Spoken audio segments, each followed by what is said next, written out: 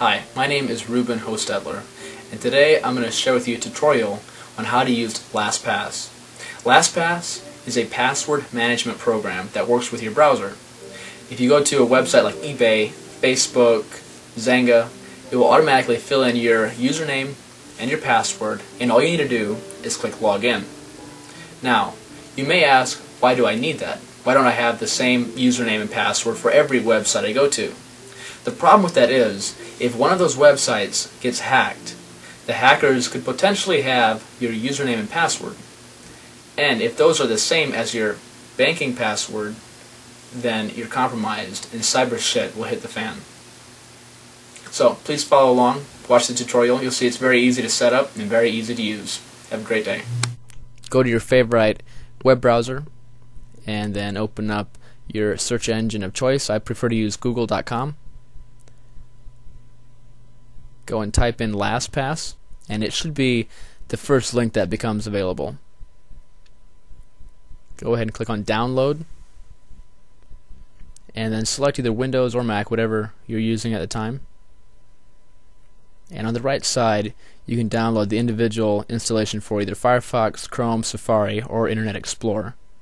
Right now we're using Chrome, so download it, click Continue. The software only takes a couple seconds to download click on install and then at LastPass will ask you to either sign into your account or create an account.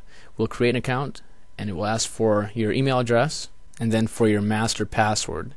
This is your LastPass password, the last password you'll need. To have a, a good password, it would require eight characters and a number, a lowercase letter, an uppercase letter, and a special character like a dollar sign or a period. Go and re-enter your LastPass password. And hit create an account. Select the no option here, otherwise it might import a bunch of usernames and passwords that you don't really want to have included in LastPass. And again here on the form fill, select no. LastPass has an option to autofill your address and credit card information if you choose. Now LastPass is installed as indicated by the LastPass icon in the top right corner. You can click on it and select your LastPass vault. Here is where all your usernames and passwords are stored. Right now there's none. So we will go to the preferences and change one option. We'll set it LastPass to automatically log off when your browser is closed for 15 minutes. This means if you close your browser and walk away from your computer and you're gone for more than 15 minutes, if someone would start your computer and open the browser, LastPass would not be logged in. But if you just go and turn it off and on real quick, you'll still be logged in if it's within those first 15 minutes. So let's give it a test. Let's go to our Gmail account and test it out. Go ahead and log in with our Gmail account and this will be one of the last times we'll ever need to enter this in. You see, when we go to a site and log in for the first time, LastPass will ask you if you want to save that username and password. Go ahead and click Save Now. You can change the name to something more memorable. If it's a Gmail email account, you can change it to Google Mail or add your username if you want to Google Mail 452 Ladybug. And then hit save and we'll go ahead and test that. Sign out of our Gmail account. Sign back in and LastPass automatically fills in the username and the password.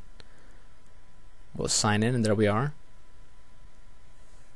So right now Gmail is set to a simple password that I can remember. I want to change it to a secure password that I don't know so that if one of my passwords gets compromised, this account won't get compromised. So type in my current password and then for the new password just right click in the box and go down to LastPass and select generate password. You can change the some advanced options. Change that to 14 generate new password click accept LastPass automatically fills in the field for new password and confirm new password. Click on Save. And we'll see that LastPass has noticed a change. We'll click Confirm. And now to test it to see if LastPass did save the changed password. And boom goes the dynamite. Hi, my name's Leighton Yoder, and I hope this video showed you some of the things I can do and how I can do them. If you were impressed with the ability and quality and stability of this video, please email me at layton125 at gmail.com.